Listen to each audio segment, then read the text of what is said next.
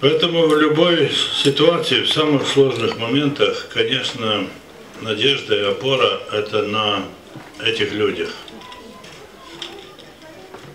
А в данном конкретном случае на вас, как представители той почти 600 тысячной армии ветеранов республики. Потому что вы имеете возможность и сравнить,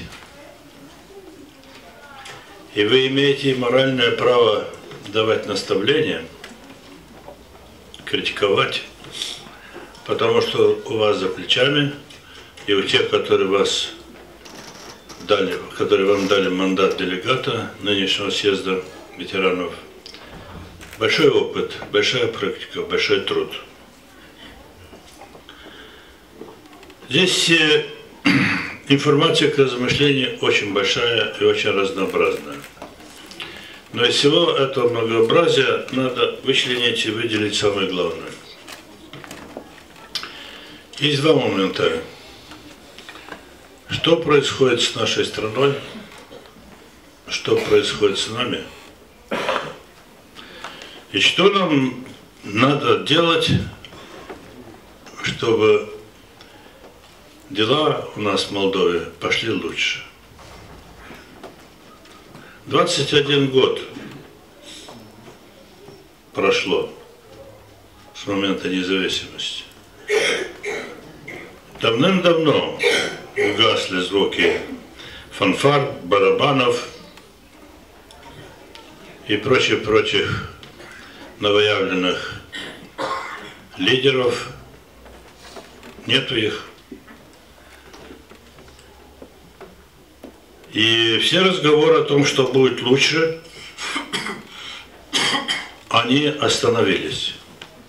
Уже никто, самые отъявленные из них оптимисты, те, которые пребывают при власти, этого не говорят.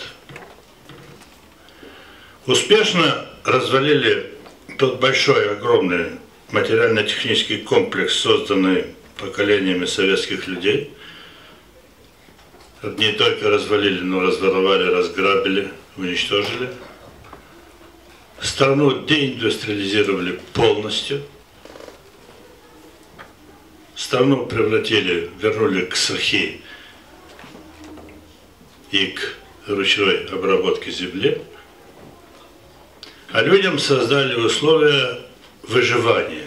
Потому что тот уровень жизни и те условия жизни, которые имеют сегодня каждый гражданин Молдовы, каждый гражданин Молдовы, это невыносимо, это не человечески. Эйфория от независимости, от суверенитета и от надежд на будущее давно закончилась. Каждый человек стоит перед трудной дилеммой, перед трудным выбором. А что делать? А что будет завтра? При всей оголтелой критике, растаптывании нашего прошлого коммунистического прошлого советской власти, но советская власть обеспечила гарантию человеку в завтрашнем дне. Это было надежно и стабильно. Сегодня такой гарантии никто не дает. Никакой государственный орган, никакое, никакое должност, никакое должностное лицо. Никто. У людях отняли все, всю эту надежду и все, что связано с ней.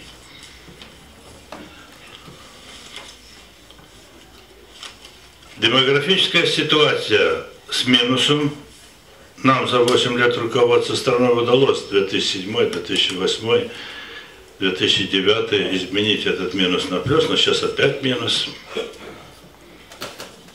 Все, что можно было ограбить, ограбили. И все мы стоим перед дилеммой, а что будет завтра? А потому ваша самая крупная организация по численности и самая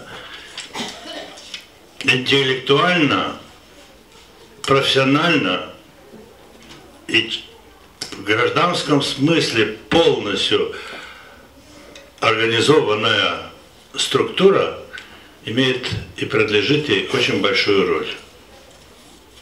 Ведь не обязательно быть членом партии коммунистов, чтобы бороться за порядок, чтобы бороться за страну, чтобы бороться за, стран, за народ, чтобы бороться за детей, чтобы бороться за завтрашнее будущее Молдовы.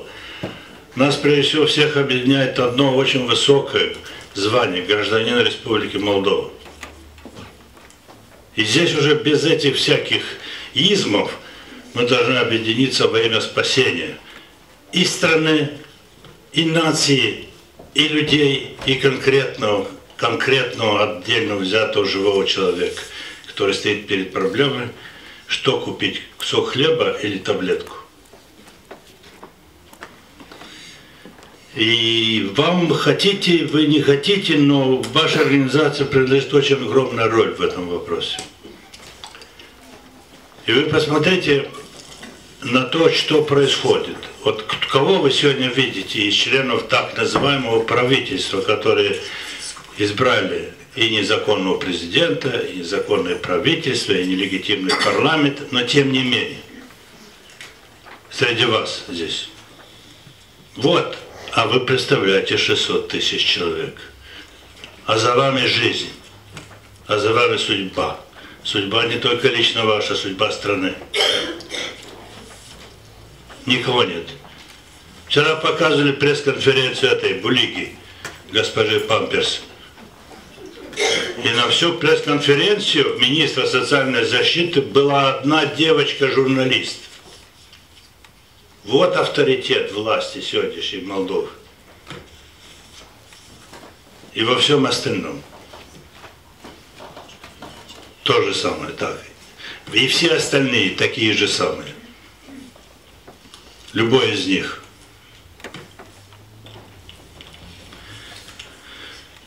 Значит, следует, что за свои права, за свои интересы надо бороться. Надо организоваться и бороться. Я думаю, что Республиканский совет ветеранов из организации просящие пойдите нам навстречу, товарищи, э, господа, там такие всякие министры, премьер-министры и прочие шурики. Удовлетворите наши просьбы, пожалуйста, нам плохо, нас болит, нам мы возраст, мы то, другое. Я думаю, что вы имеете полное основание, абсолютно полное основание превратить себя в организацию требующую, требующую в ультимативной форме и незамедлительно, и ставящую условия этой власти. И не пассивно, а активно. Ничего в противном случае не будет.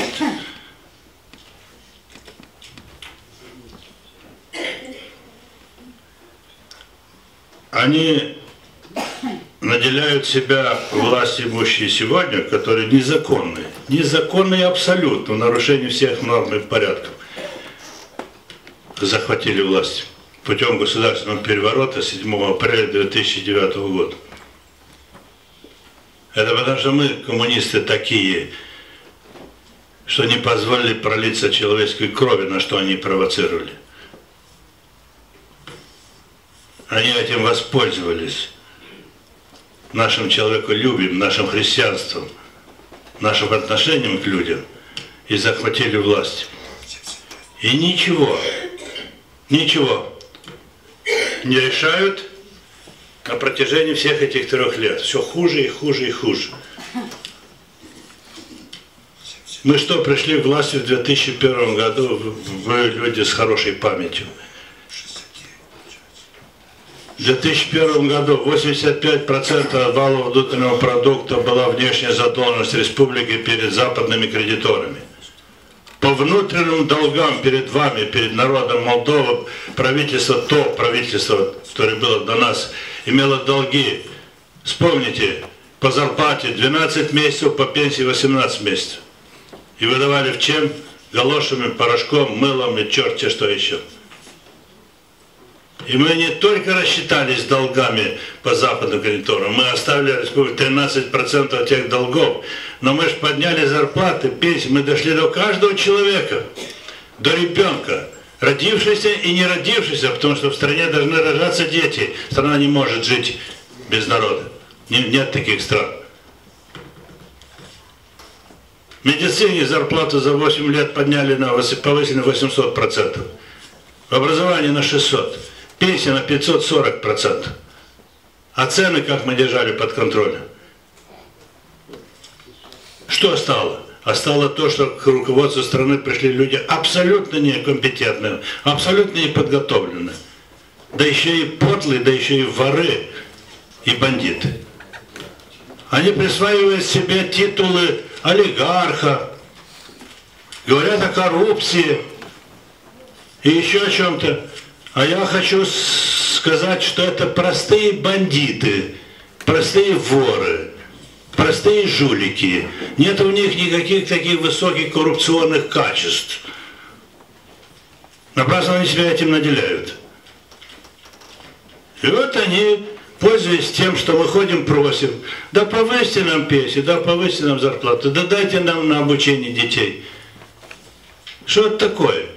Во время Великой Отечественной войны здесь сидят участники Великой Отечественной войны, да и те, которые, так сказать, наследники по книгам, по фильмам, по истории, по, по рассказам наших родителей, дедушек, бабушек. Партизанских отрядов открывали школы, они в 21 веке закрывают школы. Потому что оптимизация.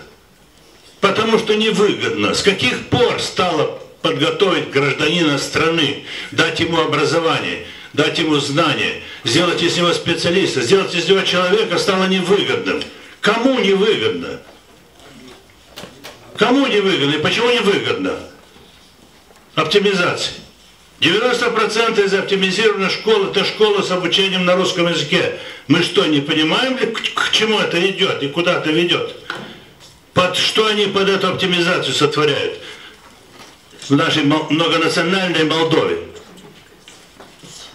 Они уже приступают к оптимизации медицинских учреждений. Медицинские учреждения, оказывается, должны быть прибыльные. Никто нигде никогда ни в мире не ставит этот вопрос, кроме частных клиник, где там сам человек открыл фирму и думаешь, придут к нему, не придут. А здесь у нас в Молдове медицинские учреждения, больницы, районы должны быть прибыльные. А ты на что прибыль? На гробы?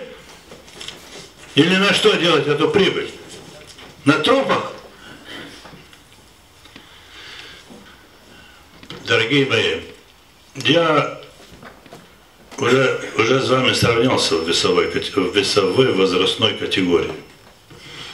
И могу и на этой основе говорить с вами на равных. Если мы не будем сопротивляться злу насилия, если мы будем покорно соглашаться и подчиняться, ничего не получится. Я представляю, что вы здесь 102 человека – наделенные доверием быть делегатами всей этой полумиллионной армии людей с таким богатым жизненным опытом, должны это в полной мере осознать и перенести домой в территорию эту озабоченность.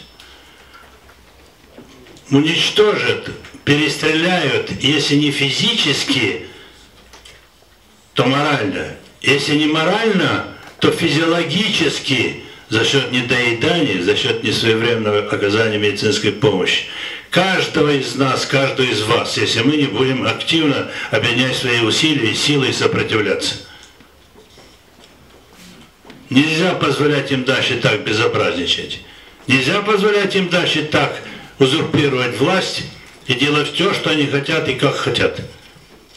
Это не, невозможно. Невозможно. И плевать надо на тех, которые говорят, что лимит на революции закончился. Почему закончился лимит на революции? Чтобы терпеть такой беспредел, чтобы подчиниться всем этим мерзавцам от власти, чтобы смотреть на эту коррумпированную судебную систему, чтобы смотреть на этих взяточников в погонах.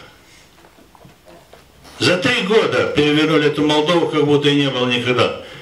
Мы же радовались вами, что мы стали первой страной СНГ, в которой нет никаких организованно преступных групп, в которой люди оставляли автомобили ночью на улице открытыми, забывали сумочки в них и документы, ничего не пропадало, которая не угонялась сутками, неделями ни, ни одно автотранспортное средство, кроме разве там детишки брали катались. И многое-многое другое. Посмотрите в сельском хозяйстве, что творится. Это же ужас. Это ужас. И вы запомните, к чему эта политика ведет. Я бы хотел бы очень сильно, чтобы я был неправ. Это ведет к тому, что будет распродана молдавская земля на кусочки, на куски, и соглашаться с тем, что происходит ни в какую секунду, ни за что. И наша организация ветеранов должна превратиться в такой боевой, в такой авангард борьбы за интересы. Не только личные. Вас, вам не все равно, что ваши дети оставили родную землю, оставили вас и уехали за границу за куском хлеба. Разве не все равно, что правнуки ваши ходят без того, чтобы видеть будущее, какая, какое будет у этих детей будущее этих правнуков? Нельзя позволять, чтобы нас топтали, нельзя позволять, чтобы над нами издевались, нельзя позволять, чтобы нас унижали, грабили, оскорбляли. Тем более кто? Вы же имеете возможность смотреть этот парламент. И в прямой, и в кривую, и в передаче, и во все. Вы посмотрите на это, эти выдающиеся мозговые интеллект. Если уже говорить, так там, там не на что смотреть. Это какой-то кошмар. Это какой-то собранный вместе, в одном месте, в одно время сумасшедший дом.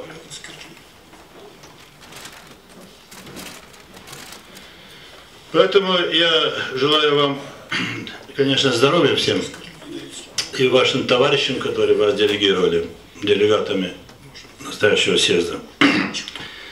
И не прекратите, прекращайте быть просителями, превратитесь в требователей, в людей, которые знаете, что вам положено, и это положено вам должны отдать. И помогайте подрастающему поколению понять, что происходит. Они приходят сюда, студенты, посмотрите, Румыния, этот сам Басеску ходит, э, не, не, не, не все пуговицы у него имеются на кальсонах, так он еще и переживает за то, что э, студенты из Молдовы должны учиться бесплатно в Румынии. Почему? Потому что они строят нам и создают нам пятую колонну. Чтобы они вернулись сюда с этой румынским менталитетом, с этой румынской идеологией что мы румыны, что мы язык румынский, что у нас никогда не было никакого Штефана Челмари, что арифметика, математика никакая, потому что Штефан Челмари жил на 450 лет раньше, чем создалось румынское, румынское государство в Албаюне. Таким на это наплевать, что первичнее, курица или яйцо. И нам это доказывает все время. Не будем мы продаваться им за тарелку борща, за кусок хлеба или еще за что-то, потому что они специально делают народ нищим, чтобы потом ходить с банкой масла, с пакетом сахара, с пакетом макарон, 100 леев в карман и покупать избирателей. Ведь так они же проводят все выборные кампании последнего времени. И так они ведь сейчас ходят по Молдове, создают себе партии. Собирают Дом культуры, 500 человек, объявляют, что сейчас на улице будет накрыт стол, а вы все с этого момента объявляетесь членами демократической партии. Кто-нибудь когда-нибудь где-нибудь в каком обществе слышал вот это, бардак вот это все? Давайте возмущаться. Давайте участвовать активно во всех мероприятиях, которые мы все вместе с вами будем планировать и проводить. Давайте сопротивляться, давайте не сдаваться, потому что вы не только себе делаете плохо, вы делаете плохо всем вашим близким, друзьям, товарищам, семьям, да еще и будущим поколению за нами.